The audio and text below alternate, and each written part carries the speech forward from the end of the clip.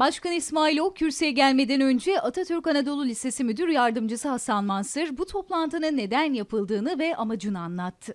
Sayın Belediye Başkanımız aramızda. Bizden biri. Bizden biri olarak biliyoruz. Böyle kabul ediyoruz.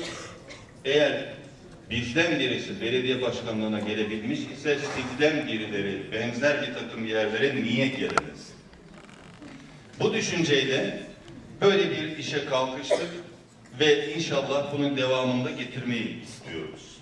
2005-2006 öğretim yılında okulumuz Mustafa Kemal Atatürk Lisesi adı ile öğretime başladı.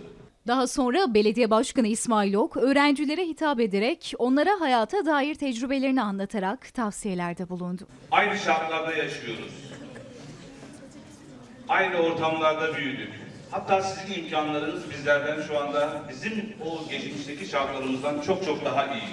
Birçok branşta öğretmenin bir arada olduğu okullarda okumanın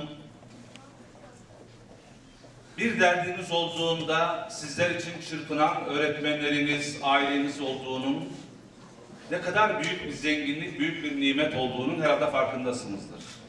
Bizler köyde doğduk, köyde büyüdük. Bundan söylemekten de iftihar ediyorum. Bizler kelebek gibi çıktığı bozayı beğenmeyenlerden değiliz. Hepimizin annesine babasına hayırlı ömürler versin Allah. Benim annem okuma yazma bilmiyor. O da sağ. Yani böyle bir aileden geldik. Hani içimizden biri diyor ya.